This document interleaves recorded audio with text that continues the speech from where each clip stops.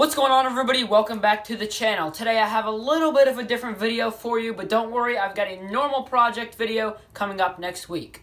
If you don't know, I did a video a couple weeks ago about a giveaway I'm doing to help pay for a brand new SawStop table saw for my shop. And in this video, I am going to announce the winner of the giveaway. I'm also going to show you what's going on in my shop and a couple little update things. So I want to give a huge thank you to everybody that purchased tickets. Greatly appreciated. I raised a lot more money than I thought I was going to uh, for my new table saw. That table saw is going to be here in about a week and a half, so you guys will see that. Uh, probably not in the next video, but in the one after that, you'll get to see my brand new SawStop. Congratulations to Al Benjamin for winning the Walnut Bowl. You'll be getting that in a few days, and I hope you like it.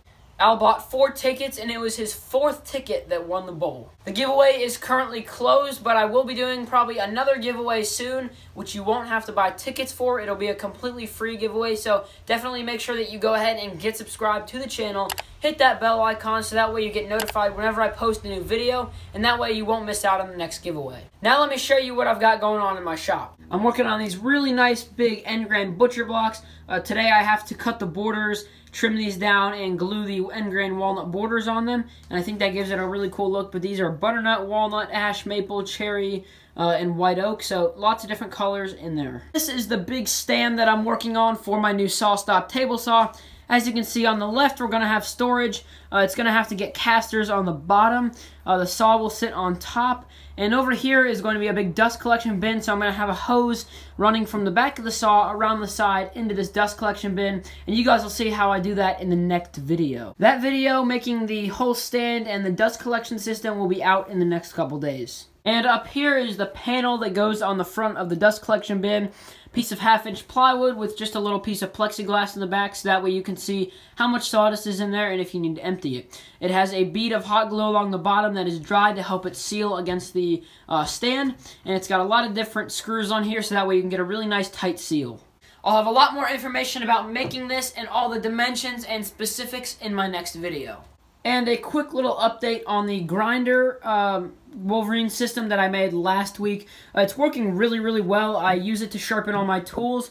Um, after mentioning in the video that I was having some trouble getting a good grind on the bowl gouges, I decided to go ahead and purchase a Wolverine Oneway uh, Vari-Grind, and this is the tool uh, that you use to sharpen the bowl gouges, and that lets you get a really, really nice swooping curve and nice grind on the end of the bowl gouges. If you didn't see the video on making this and you want to, I'll link it down in the description box down below. Down at my wood pile, this is where I cut up bowl blanks and stuff from logs.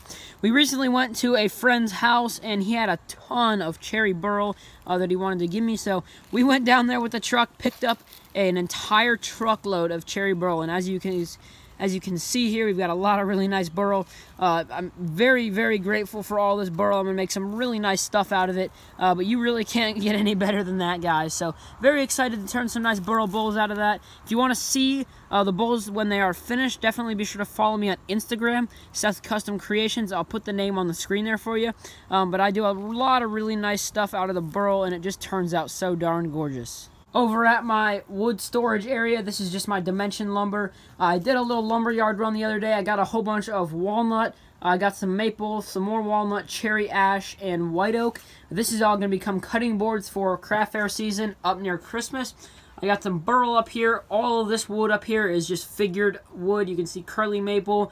Got some figured walnut, some white oak, and uh, we just got a lot of stuff, a lot of wood, and uh, I've got a lot of projects to make with all this. And so guys, that's kind of my weekly shop update giveaway winner thing. I kind of did it Matthew Cremona style, if you know what I'm talking about. Tell me if you guys like this video format style, just the kind of weekly shop updates, and then also the weekly projects. I did enjoy making this video, and I hope you guys enjoyed watching it.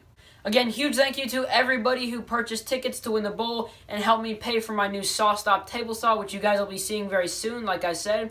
And congratulations to Al Benjamin for winning. Definitely go check out my website. I've got a lot of cool projects on there, and you definitely are going to want to check them out. I've also got some more information about me and some other stuff you might be interested in, so definitely be sure to go check out my website. The link will be in the description box down below. I'll see you guys next week.